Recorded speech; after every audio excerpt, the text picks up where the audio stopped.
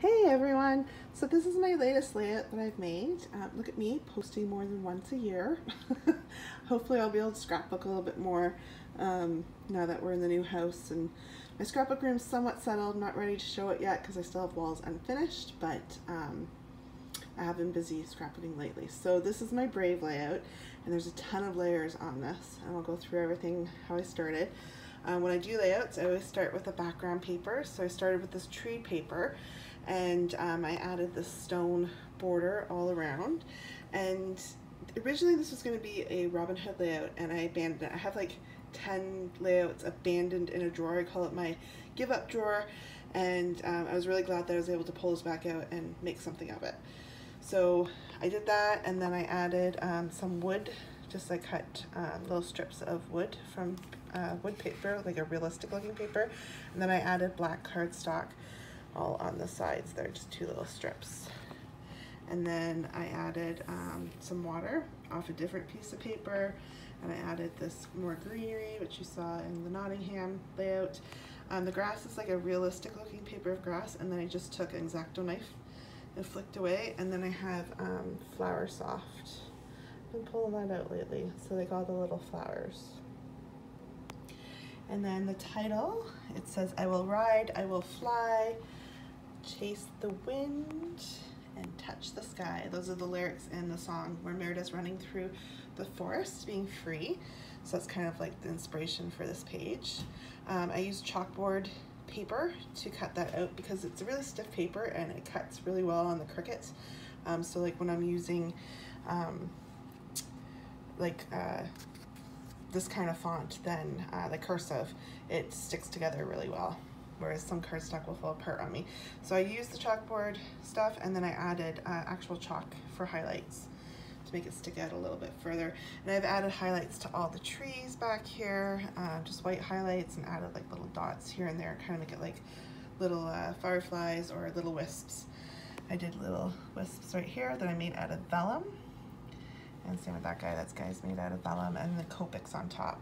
So the photo mats, I did not sew this time because what I've done is um, this paper kind of reminded me of the wisp when I was looking at it. It's like Merida colors, so I used that and then I did little strips of wood because I don't like to waste this paper so it's not like a full piece of wood there. Uh, just little strips and glued them together and then for this one I took uh, just black cardstock and I used my distressor and distressed the edges and uh, add a little bit of chalk to the end so you can really see it.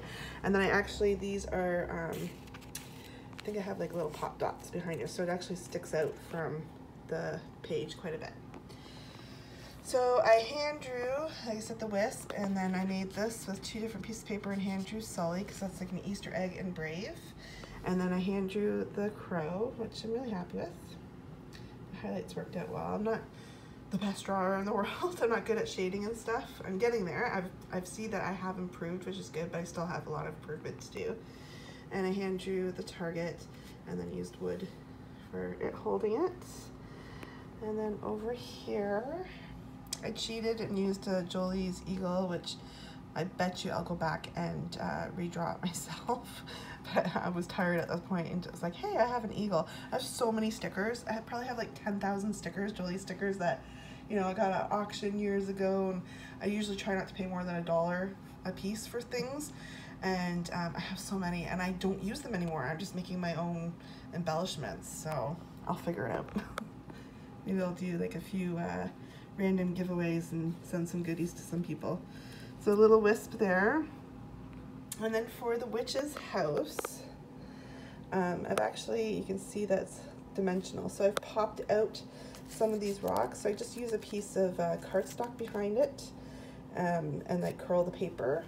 And same with this, I cut out a few extra leaves and pop them up. And then I've actually curled the paper in to kind of give it a rounded effect. And then this is just wood paper. Um, I cut it out, put black cardstock behind it. I printed a spider doorknob because I couldn't uh, draw that small. I'd had enough at that point, so I just printed that out and cut it out. Um, Angus, I hand drew. I'm getting better working with black. It's really hard because I actually don't use black uh, marker when I'm coloring in things black. I use uh, different grays so I can get some of the shading done. But yeah, that's Angus there. And think that's pretty much the page. So lots and lots of layers on this one. And I'm really, really happy with how it turned out. So, oh, sorry about my finger. So thanks for watching. Um, if you subscribe, you should know when I have new videos. I have a ton of ideas. I had Scrapper's Block for a little bit, but I have lots of ideas coming. So, and I'm, my goal this year is to um, stay, uh, make sure I make videos maybe once a week, once every two weeks, and try to stay on top of comments and stuff because I've been really bad at doing that. I do apologize. So uh, yeah, thanks for watching. Subscribe, thumbs up, and I really uh, enjoy everyone's comments when you do comment. I appreciate them. Thank you so much. Bye.